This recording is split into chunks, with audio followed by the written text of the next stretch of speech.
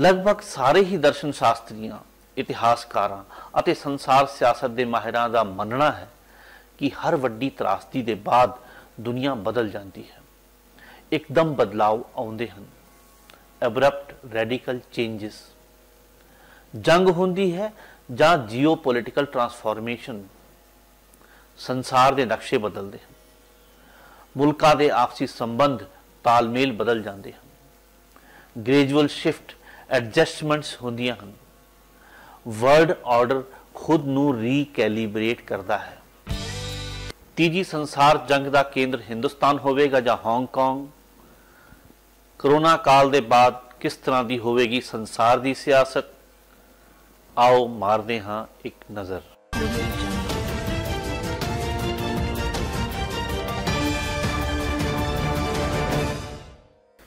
ਵਾਹਿਗੁਰੂ ਜੀ ਕਾ ਖਾਲਸਾ ਵਾਹਿਗੁਰੂ ਜੀ ਕੀ ਫਤਿਹ।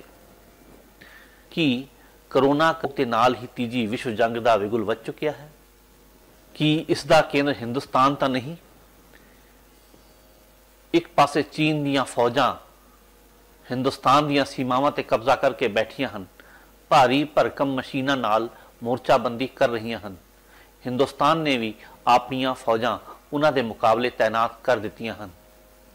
ਪਰ ਪਾਕਿਸਤਾਨ ਨੂੰ ਘਰ में घुस के मारेंगे ਦਾ ਦਾਵਾ ਕਰਨ ਵਾਲੇ ਘਰ में घुस ਚੁੱਕੇ ਚੀਨ ਨਾਲ ਗੱਲਬਾਤ ਕਰ ਰਹੇ ਹਨ ਦੂਜੇ ਪਾਸੇ ਨੇਪਾਲ ਨੇ ਵੀ ਹਿੰਦੁਸਤਾਨ ਨਾਲ ਸੀਮਾ ਵਿਵਾਦ ਦਾ ਚਿੱਠਾ ਖੋਲ ਲਿਆ ਹੈ ਪਾਕਿਸਤਾਨ ਅਤੇ ਨੇਪਾਲ ਚੀਨ ਦੇ ਖੇਮੇ ਵਿੱਚ ਹਨ ਬਾਕੀ ਦੇ ਕਿਸੇ ਵੀ ਪੜੋਸੀ ਮੁਲਕ ਨਾਲ ਹਿੰਦੁਸਤਾਨ ਦੇ ਸੰਬੰਧ ਠੀਕ ਨਹੀਂ ਹਨ ਜੇ ਜੰਗ ਦੇ ਹਾਲਾਤ ਬਣਦੇ ਹਨ ਤਾਂ ਕੀ ਹਿੰਦੁਸਤਾਨ ਇਕੱਲਾ ਪੈ ਜਾਵੇਗਾ ਹਾਲਾਂਕਿ ਅਮਰੀਕਾ ਦੇ ਸਦਰ ਡੋਨਾਲਡ ਟਰੰਪ ਨੇ ਹਿੰਦੁਸਤਾਨ ਚੀਨ ਵਿਚਕਾਰ ਵਿਚੋਲਗੀ ਕਰਨ ਦੀ ਸਹਿਮਤੀ ਪ੍ਰਗਟਾਈ ਹੈ। ਪਰ ਉਸ ਦੀ ਵਿਚੋਲਗੀ ਕਿਹੋ ਜਿਹੀ ਹੋਵੇਗੀ ਜੋ ਆਪ ਚੀਨ ਨਾਲ ਦੋ ਦੋ ਹੱਥ ਕਰਨ ਲਈ ਤਿਆਰ ਬੈਠਾ ਹੈ? ਖੈਰ, ਅਮਰੀਕਾ ਨੇ ਕਰੋਨਾ ਨੂੰ ਲੈ ਕੇ ਚੀਨ ਨੂੰ ਘੇਰਨਾ ਸ਼ੁਰੂ ਕਰ ਦਿੱਤਾ ਹੈ। ਅਮਰੀਕਾ ਨੇ ਕਈ ਤਰ੍ਹਾਂ ਦੀਆਂ ਰੋਕਾਂ ਲਾ ਕੇ ਚੀਨ ਦੇ ਕਰੋਨਾ ਹਮਲੇ ਦੀ ਭਾਜੀ ਮੋੜਨੀ ਸ਼ੁਰੂ ਕਰ ਦਿੱਤੀ ਹੈ। ਇਹ ਸਿਲਸਿਲਾ ਸੰਸਾਰ ਨੂੰ ਕਿਸ ਅੰਜਾਮ ਤੱਕ ਲੈ ਕੇ ਜਾਵੇਗਾ, ਆਉਣ ਵਾਲਾ ਸਮਾਂ ਹੀ ਦੱਸੇਗਾ।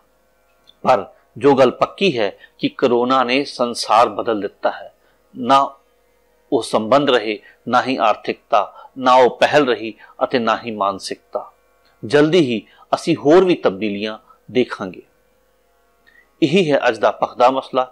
ਇਸੇ ਤੇ ਅੱਜ ਸਾਰੇ ਸੰਸਾਰ ਦੇ ਦਰਸ਼ਨ ਸ਼ਾਸਤਰੀ, ਇਤਿਹਾਸਕਾਰ ਅਤੇ ਸੰਸਾਰ ਸਿਆਸਤ ਦੇ ਮਾਹਰ ਚਰਚਾ ਕਰ ਰਹੇ ਹਨ ਇਸੇ ਵਿਸ਼ੇ ਤੇ ਕੌਮਾਂਤਰੀ ਮਸਲਿਆਂ ਦੇ ਮਾਹਰ Stewart Patrick Stephen M walk Richard N Haass G John Ikenberry doctor ਐਂਡਰੀ ਕੋਰਟੀਨੋ ਅਤੇ ਦਾਰਸ਼ਨਿਕ ਸਲਾਵੋਸ ਜੀਜ਼ੇਕ ਦੀ رائے ਅਸੀਂ ਸਾਂਝੀ ਕਰਾਂਗੇ ਕਿਹੋ ਜਿਹੀ ਹੋਵੇਗੀ ਆਉਣ ਵਾਲੀ ਸੰਸਾਰ ਦੀ ਸਿਆਸਤ ਲਗਭਗ ਸਾਰੇ ਹੀ ਦਰਸ਼ਨ ਸ਼ਾਸਤਰੀਆਂ ਇਤਿਹਾਸਕਾਰਾਂ ਅਤੇ ਸੰਸਾਰ ਸਿਆਸਤ ਦੇ ਮਾਹਿਰਾਂ ਦਾ ਮੰਨਣਾ ਹੈ ਕਿ ਹਰ ਵੱਡੀ ਤਰਾਸਦੀ ਦੇ ਬਾਅਦ ਦੁਨੀਆ ਬਦਲ ਜਾਂਦੀ ਹੈ। ਇੱਕਦਮ ਬਦਲਾਅ ਆਉਂਦੇ ਹਨ। ਐਬਰਪਟ ਰੈਡੀਕਲ ਚੇਂਜਸ ਜੰਗ ਹੁੰਦੀ ਹੈ ਜਾਂ ਜੀਓਪੋਲਿਟੀਕਲ ਟਰਾਂਸਫਾਰਮੇਸ਼ਨ ਸੰਸਾਰ ਦੇ ਨਕਸ਼ੇ ਬਦਲਦੇ ਹਨ। ਮੁਲਕਾਂ ਦੇ ਆਪਸੀ ਸੰਬੰਧ ਤਾਲਮੇਲ ਬਦਲ ਜਾਂਦੇ ਹਨ। ਗ੍ਰੈਜੂਅਲ ਸ਼ਿਫਟ ਐਡਜਸਟਮੈਂਟਸ ਹੁੰਦੀਆਂ ਹਨ। ਵਰਲਡ ਆਰਡਰ ਖੁਦ ਨੂੰ ਰੀਕੈਲੀਬ੍ਰੇਟ ਕਰਦਾ ਹੈ। ਇਤਿਹਾਸਕਾਰ ਜੌਨ ਐਮ ਬੇਰੀ ਜਿਸ ਨੇ 1918 ਦੇ ਸਪੈਨਿਸ਼ ਫਲੂ ਤੇ ਖਾਸ ਖੋਜ ਕੀਤੀ ਹੈ, ਨੇ ਚਿੰਤਾ ਪ੍ਰਗਟਾਈ ਹੈ ਕਿ ਕੁਝ ਦੇਸ਼ਾਂ ਵਿੱਚ ਉੱਥੋਂ ਦੇ ਲੀਡਰਾਂ ਦੀ ਗਲਤੀ ਕਰਕੇ ਬਹੁਤ ਸਾਰੀਆਂ ਜਾਨਾਂ ਜਾਣਗੀਆਂ। ਟ੍ਰੇਲਰ ਅਸੀਂ ਦੇਖ ਚੁੱਕੇ ਹਾਂ ਕਿਵੇਂ ਚੀਨ ਨੇ ਕਰੋਨਾ ਵਾਇਰਸ ਦੀ ਹਕੀਕਤ ਨੂੰ ਲੁਕੋਇਆ। ਦੁਨੀਆ ਨੂੰ ਗੁੰਮਰਾਹ ਕੀਤਾ। ਅਮਰੀਕਾ ਅਤੇ ਹਿੰਦੁਸਤਾਨ ਵਰਗਿਆਂ ਨੇ ਵਿਗਿਆਨਿਕ ਸੋਚ ਹੀ ਨਹੀਂ ਦਿਖਾਈ। ਜਦ ਸਾਰਾ ਸੰਸਾਰ ਸੋਸ਼ਲ ਡਿਸਟੈਂਸਿੰਗ ਕਰ ਰਿਹਾ ਸੀ, ਇਹ ਜੱਫੀਆਂ ਪਾ ਕੇ ਇੱਕ ਦੂਜੇ ਦੀ ਆਓ ਭਗਤ ਦਾ ਜਸ਼ਨ ਮਨਾ ਰਹੇ ਸਨ। ਨਾ ਹਾਲਾਤ ਦੀ ਗੰਭੀਰਤਾ ਦੀ ਸਮਝ ਸੀ ਤੇ ਨਾ ਹੀ ਇੰਤਜ਼ਾਮਾਤ ਦੀ ਮੁਸਤੈਦੀ। ਨਤੀਜਾ ਸਭ ਦੇ ਸਾਹਮਣੇ ਹੈ। 4 ਘੰਟਿਆਂ ਦੇ ਨੋਟਿਸ ਤੇ ਲਾਕਡਾਊਨ ਕਰਕੇ, ਆਵਾਜਾਈ ਦੇ ਸਾਧਨ ਠੱਪ ਕਰਕੇ ਕਿਸ ਤਰ੍ਹਾਂ ਪ੍ਰਵਾਸੀ ਮਜ਼ਦੂਰਾਂ ਨੂੰ ਸੜਕਾਂ ਤੇ ਮਰਨ ਲਈ ਮਜਬੂਰ ਕੀਤਾ ਗਿਆ? ਜਦ ਸ਼ਮਿਕ ਟ੍ਰੇਨਾਂ ਚਲਾਈਆਂ ਗਈਆਂ, ਉਸ ਵਕਤ ਵੀ ਬੇਇੰਤਜ਼ਾਮੀ ਸਦਕੇ ਲੋਕਾਂ ਨੂੰ ਭੁੱਖੇ ਮਾਰ ਦਿੱਤਾ ਗਿਆ। ਯੂਰਪ ਦੇ 1346 ਤੋਂ 1353 ਦੇ ਬਦਨਾਮ ਪਲੇਗ ਐਪੀਡੈਮਿਕ ਬਲੈਕ ਡੈਥ ਕਾਲ ਦੇ ਬਾਅਦ ਕਿਸ ਤਰ੍ਹਾਂ ਸਮਾਜਿਕ, ਸਾਂਸਕ੍ਰਿਤਿਕ, ਆਧਿਆਤਮਕ, ਆਰਥਿਕ ਅਤੇ ਟੈਕਨੋਲੋਜੀਕਲ ਬਦਲਾਅ ਹੋਏ ਕਿਸ ਤਰ੍ਹਾਂ ਯੂਰੋਪੀਅਨ ਰਿਫਾਰਮੇਸ਼ਨ ਦੇ ਸੈਲਾਬ ਨੇ ਯੂਰਪ ਬਦਲਿਆ ਸੀ? ਜੇ ਉਹਨਾਂ ਹਾਲਾਤਾਂ ਨਾਲ ਤੁਲਨਾ ਨਾ ਵੀ ਕਰੀਏ, ਤਾਂ ਵੀ ਅੱਜ ਤੇ ਦਿਖਾਈ ਦੇ ਰਹੇ ਪੋਟੈਂਸ਼ੀਅਲ ਲੌਂਗ ਟਰਮ ਨਤੀਜੇ ਘੱਟ ਮਹੱਤਵਪੂਰਨ ਨਹੀਂ ਹਨ। 1930 ਦੇ ਗ੍ਰੇਟ ਡਿਪਰੈਸ਼ਨ ਦਾ ਕੀ ਨਤੀਜਾ ਰਿਹਾ? ਸਾਰੇ ਸੰਸਾਰ ਵਿੱਚ ਆਮ ਲੋਕਾਂ ਦੀਆਂ ਤਕਲੀਫਾਂ ਵਿੱਚ ਵਾਧਾ ਹੋਇਆ। ਆਰਥਿਕਤਾ ਚਰਮਰਾ ਗਈ। ਸਮਾਜਿਕ ਆਰਥਿਕ ਗੈਰ ਬਰਾਬਰੀ ਵਧੀ। ਸਮਾਜਿਕ ਗੁੱਸੇ ਵਿੱਚ ਵਾਧਾ ਹੋਇਆ ਅਤਵਾਦ ਵੱਧ ਗਿਆ। ਇਸੇ ਲਈ ਹਾਰਵਰਡ ਯੂਨੀਵਰਸਿਟੀ ਵਿੱਚ ਕੌਮਾਂਤਰੀ ਮਸਲਿਆਂ ਦੇ ਮਾਹਰ ਪ੍ਰੋਫੈਸਰ ਸਟੀਫਨ ਐਮ ਵਾਲਟ ਦੀ ਚਿੰਤਾ ਹੈ ਕਿ ਸਿਆਸਤਦਾਨ ਮਹਾਮਾਰੀ ਦਾ ਫਾਇਦਾ ਉਠਾਉਣਗੇ। ਤਾਨਾਸ਼ਾਹੀ ਸੋਚ ਵਾਲੇ ਮੁਲਕ ਰਾਸ਼ਟਰਵਾਦ ਦੇ ਨਾਂ ਤੇ, ਆਰਥਿਕ ਸੁਰੱਖਿਆ ਦੇ ਨਾਂ ਤੇ ਸੱਤਾ ਦਾ ਕੇਂਦਰੀਕਰਨ ਕਰਨਗੇ। ਸਵਦੇਸ਼ੀ ਨੂੰ ਤਰਜੀਹ ਦੇਣਗੇ, ਰਾਸ਼ਟਰਵਾਦ ਵਧੇਗਾ, ਸਟੇਟ ਦੀ ਤਾਕਤ ਵਧੇਗੀ, ਪਰ ਕੌਮਾਂਤਰੀਕਰਨ ਕਮਜ਼ੋਰ ਹੋਵੇਗਾ। ਪੈਂਡੈਮਿਕ ਦੇ ਬਹਾਨੇ ਸਰਕਾਰਾਂ ਉਹ ਤਾਕਤਾਂ ਹਾਸਲ ਕਰ ਲੈਣਗੀਆਂ, ਜਿਸ ਨੂੰ ਬਾਅਦ ਵਿੱਚ ਉਹ ਛੱਡਣਾ ਨਹੀਂ ਚਾਹੁੰਦੀਆਂ ਇਸੇ ਤਰ੍ਹਾਂ ਤਾਕਤ ਦਾ ਕੇਂਦਰ ਪੱਛਮ ਤੋਂ ਬਦਲ ਕੇ ਪੂਰਬ ਵਾਲੇ ਪਾਸੇ ਨੂੰ ਸਰਕੇਗਾ। ਪਰ ਨਾਲ ਹੀ ਸਟੀਫਨ ਖਬਰਦਾਰ ਕਰਦਾ ਹੈ ਕਿ ਜੇਕਰ ਅਜਿਹਾ ਹੁੰਦਾ ਹੈ ਜੇਕਰ ਸੰਸਾਰ ਤੇ ਪੂਰਬ ਦੀ ਦੁਨੀਆ ਹਾਵੀ ਹੁੰਦੀ ਹੈ, ਤਾਂ ਤਾਨਾਸ਼ਾਹੀ ਬਿਰਤੀ ਦਾ ਬੋਲਬਾਲਾ ਹੋਵੇਗਾ ਅਤੇ ਆਉਣ ਵਾਲੇ ਸਮੇਂ ਵਿੱਚ ਦੁਨੀਆ ਸਮਾਜਿਕ ਨਿਆਂ ਮੌਲਿਕ ਆਜ਼ਾਦੀ, ਖੁਸ਼ਹਾਲੀ ਅਤੇ ਵਾਤਾਵਰਣ ਦੀ ਸੰਭਾਲ ਤੋਂ ਵਾਂਝੀ ਰਹੇਗੀ। ਰਿਫਿਊਜੀਆਂ, ਪ੍ਰਵਾਸੀਆਂ, ਸ਼ਰਨਾਰਥੀਆਂ ਦੀਆਂ ਸਮੱਸਿਆਵਾਂ ਵਧਣਗੀਆਂ। ਖਾਨਾ ਜੰਗੀ ਦਾ ਦੌਰ ਵਧੇਗਾ। ਪਰ ਦੂਜੇ ਪਾਸੇ ਰਿਪਬਲਿਕਨ ਅਤੇ ਵਿਦੇਸ਼ੀ ਮਾਮਲਿਆਂ ਦੇ ਮਾਹਰ ਰਿਚਰਡ ਐਂਡ ਹਾਸ ਜੋ ਕਿ ਅਥਾਰਟੋਰੀਅਨਿਜ਼ਮ ਦੇ ਸਮਰਥਕ ਹਨ, ਦੇ ਮੁਤਾਬਕ ਕੁੱਲ ਮਿਲਾ ਕੇ ਹਾਲਾਤ ਵਧੀਆ ਹੋਣਗੇ। ਅਥਾਰਟੇਰੀਅਨਿਜ਼ਮ ਤਾਨਾਸ਼ਾਹੀ ਫਾਇਦੇਮੰਦ ਹੋਵੇਗੀ। ਸਰਕਾਰਾਂ ਲੋਕਾਂ ਨੂੰ ਆਰਥਿਕ ਮਦਦ ਦੇਣਗੀਆਂ, ਲੋਕਾਂ ਵਿੱਚ ਅਸਹਿਮਤੀ ਘਟੇਗੀ, ਸਮਾਜਿਕ ਹਲਕਿਆਂ ਵਿੱਚ ਸਰਕਾਰ ਨੂੰ ਜ਼ਿਆਦਾ ਸਮਰਥਨ ਮਿਲੇਗਾ। ਇਸ ਨਾਲ ਸਿਵਲ ਲਿਬਰਟੀਜ਼ ਅਤੇ ਸਿਆਸੀ ਅੰਦੋਲਨ ਖਤਮ ਹੋਣਗੇ। ਇਸ ਨਾਲ ਖੇਤਰੀ ਪੱਧਰ ਤੋਂ ਲੈ ਕੇ ਕੌਮੀ ਪੱਧਰ ਅਤੇ ਕੌਮਾਂਤਰੀ ਪੱਧਰ ਤੱਕ ਸਹਿਯੋਗ ਦੀ ਲੋੜ ਵੀ ਵਧੇਗੀ। ਦੂਜੀ ਗੱਲ ਜੋ ਹਾਸ ਕਹਿੰਦਾ ਹੈ, ਉਹ ਇਹ ਕਿ ਇਸ ਪੈਂਡੈਮਿਕ ਨਾਲ ਸੰਸਾਰ ਤੇ ਜ਼ਿਆਦਾ ਫ਼ਰਕ ਨਹੀਂ ਪੈਣਾ। ਬਸ ਜੋ ਟ੍ਰੈਂਡ ਪਹਿਲਾਂ ਹੀ ਚੱਲ ਰਿਹਾ ਹੈ ਉਸ ਦੀ ਰਫ਼ਤਾਰ ਤੇਜ਼ ਹੋ ਜਾਵੇਗੀ। ਜਿਸ ਤਰ੍ਹਾਂ ਅਮਰੀਕਾ ਦੀ ਲੀਡਰਸ਼ਿਪ ਨੇਤਾਗਿਰੀ ਪਹਿਲਾਂ ਹੀ ਘਟ ਰਹੀ ਹੈ ਗਲੋਬਲ ਕੋਆਪਰੇਸ਼ਨ ਵਿੱਚ ਪਹਿਲਾਂ ਹੀ ਕਮੀ ਆ ਚੁੱਕੀ ਹੈ ਵੱਡੀਆਂ ਤਾਕਤਾਂ ਵਿੱਚ ਅਸਹਿਮਤੀ ਦਾ ਮਾਹੌਲ ਪਹਿਲਾਂ ਹੀ ਬਣ ਚੁੱਕਿਆ ਸੀ। ਇਸ ਵਿੱਚ ਵਾਧਾ ਹੀ ਹੋਵੇਗਾ, ਰਫ਼ਤਾਰ ਤੇਜ਼ ਹੋਵੇਗੀ। ਅਮਰੀਕਾ ਚੀਨ ਵਿਚਕਾਰ ਦੀ ਨਵੀਂ ਕੋਲਡ ਵਾਰ ਇਸੇ ਦਾ ਹੀ ਨਤੀਜਾ ਹੈ। ਦੱਖਣ ਕੋਰੀਆ ਦੇ ਜਨਮੇ ਜਰਮਨ ਦਾਰਸ਼ਨਿਕ ਬਿਯੰਗ ਚੁਲ ਹਨ ਨੇ ਮਸ਼ਹੂਰ ਸਪੈਨਿਸ਼ ਅਖਬਾਰ ਐਲ ਪਾਇਸ ਵਿੱਚ ਇੱਕ ਲੇਖ ਵਿੱਚ ਤਾਂ ਦਾਵਾ ਵੀ ਕਰ ਦਿੱਤਾ ਹੈ ਕਿ ਪੂਰਬ ਨੇ ਜੰਗ ਜਿੱਤ ਲਈ ਹੈ।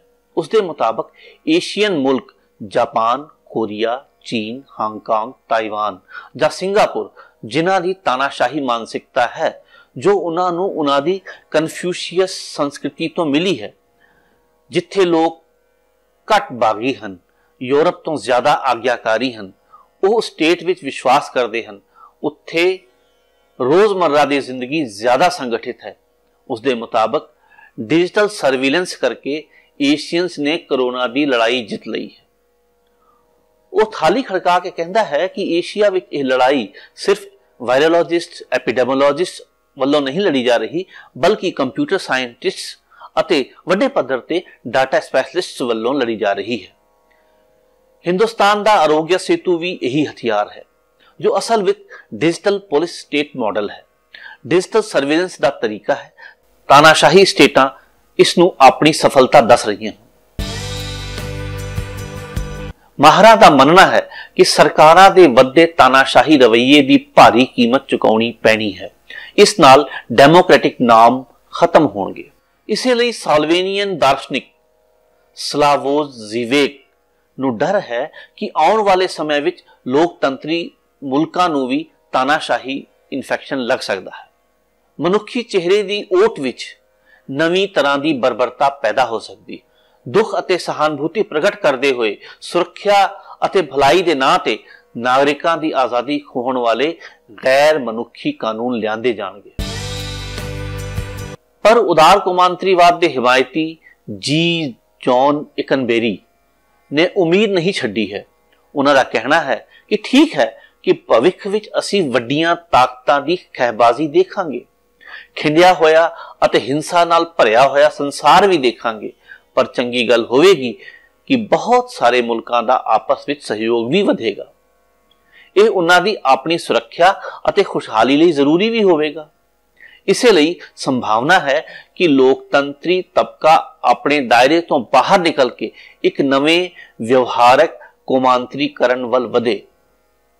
ਕੌਮਾਂਤਰੀ ਸਹਿਯੋਗ ਮਜ਼ਬੂਤ ਹੋਵੇ। ਕੌਮਾਂਤਰੀ ਸੰਸਥਾਵਾਂ ਦਾ ਰਸੂਖ ਵਧੇ। ਇਸੇ ਲਈ ਬਹੁਤ ਸੰਭਵ ਹੈ ਕਿ ਮਸਲਿਆਂ ਦੇ ਮਿਲਟਰੀ ਹੱਲ ਅਤੇ ਆਰਥਿਕ ਖਹਿਬਾਜ਼ੀ ਵਧਣ ਦੀ ਬਜਾਏ ਗੱਲਬਾਤ ਰਾਹੀਂ ਮਸਲੇ ਦਾ ਹੱਲ ਲੱਭਣ ਦੀ ਇੱਛਾ ਵੀ ਵਧੇ। ਇਸੇ ਲਈ the sovereignty wars reconciling America with the world ਦੇ ਲੇਖਕ ਅਤੇ ਵਿਦੇਸ਼ੀ ਮਾਮਲਿਆਂ ਦੇ ਮਾਹਰ ਸਟੀਵਰਟ ਪੈਟ੍ਰਿਕ ਨੇ ਅਮਰੀਕਨ ਖੇਮੇ ਨੂੰ ਸਲਾਹ ਦਿੱਤੀ ਹੈ ਕਿ ਜੇਕਰ ਅਮਰੀਕਾ ਦੁਨੀਆ ਦੀ ਅਗਵਾਈ ਦੀ ਆਪਣੀ ਜ਼ਿੰਮੇਵਾਰੀ ਨੂੰ ਛੱਡੇਗਾ ਤਾਂ ਹੋਰ ਕੋਈ ਸਾਂਭ ਲਵੇ। ਉਸ ਦੇ ਮੁਤਾਬਕ, ਇਹ ਟਰੰਪ ਦੀ ਨੀਤੀਆਂ ਦਾ ਹੀ ਨਤੀਜਾ ਹੈ ਕਿ ਵਰਲਡ ਹੈਲਥ ਆਰਗੇਨਾਈਜੇਸ਼ਨ ਅਤੇ ਯੂਨਾਈਟਿਡ ਨੇਸ਼ਨਸ ਵਿੱਚ ਚੀਨ ਨੇ ਆਪਣੀ ਕੁਸਪੈਠ ਵਧਾਈ।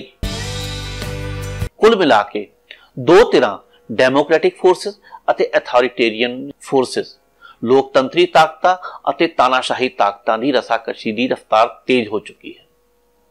ਇਸਲਾਮੀ ਮੁਲਕ ਵੀ ਆਪਣੇ ਕੌਮਾਂਤਰੀ ਸੰਗਠਨ organization of Islamic countries OIC ਦੀ ਭੂਮਿਕਾ ਵਧਾਉਣ ਵਿੱਚ ਜੁਟ ਚੁੱਕੇ ਹਨ। એનર્ਜੀ ਫੈਕਟਰ ਵੀ ਭਵਿੱਖ ਦੀ ਦੁਨੀਆ ਨਿਰਧਾਰਤ ਕਰੇਗਾ। ਆਉਣ ਵਾਲੇ ਸਾਲ, ਡੇਢ ਸਾਲ ਬਹੁਤ ਮਹੱਤਵਪੂਰਨ ਹੋਣਗੇ। ਅਮਰੀਕਾ ਦੀਆਂ ਨਵੰਬਰ ਦੀਆਂ ਚੋਣਾਂ, ਯੂਰੋਪੀਅਨ ਯੂਨੀਅਨ ਵਿੱਚ ਫਰਾਂਸ, ਜਰਮਨ ਦੀ ਪੋਜੀਸ਼ਨ ਦੱਸੇਗੀ ਊਂਟ ਕਿਸ ਕਰਵਟ ਬੈਠੇਗਾ। ਬਾਕੀ ਤਾਂ ਉੱਗੇ ਬਿਜ਼ਨਸਮੈਨ ਵਾਰਨ ਬਫੇ ਮੁਤਾਬਕ ਸਮੁੰਦਰ ਦੀਆਂ ਤੇਜ਼ ਲਹਿਰਾਂ ਦੇ ਗੁਜ਼ਰ ਜਾਣ ਦੇ ਬਾਅਦ ਹੀ ਪਤਾ ਚੱਲਦਾ ਹੈ ਕਿ ਕੌਣ ਕਿਸ ਤਰ੍ਹਾਂ ਦੀ ਤਾਰੀ ਲਾ ਰਿਹਾ ਹੈ। Only when the tide goes out do you discover who has been swimming naked ਆਜ਼ਾਦੀ ਦੇ ਆਸ਼ਕਾਂ ਨੂੰ ਨਜ਼ਰ ਖੋਲ ਕੇ ਰੱਖਣੀ ਚਾਹੀਦੀ ਹੈ। ਧੰਨਵਾਦ। ਵਾਹਿਗੁਰੂ ਜੀ ਕਾ ਖਾਲਸਾ, ਵਾਹਿਗੁਰੂ ਜੀ ਕੀ ਫਤਿਹ।